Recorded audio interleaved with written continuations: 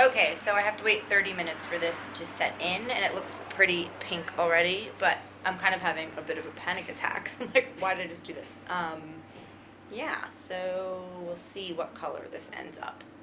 I'm at Jess and Michael's house, and I actually went outside to be like, who dyes their own hair? Who does this?